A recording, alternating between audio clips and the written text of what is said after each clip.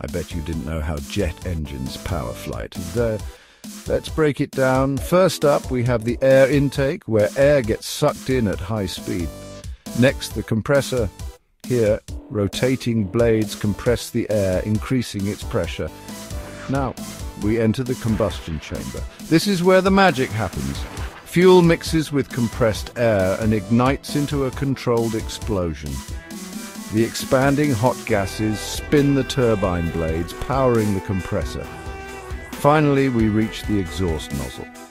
According to Newton's third law, the high-speed exhaust gases propel the aircraft forward. That's thrust. Let's recap. Air intake, compression, combustion, turbine power and exhaust thrust, all working together to keep that plane soaring. Some modern jet engines generate over 100,000 pounds of thrust, more power than an entire Formula One racing grid combined. If you found this fascinating, hit like and subscribe for more How Things Work breakdowns. Uh,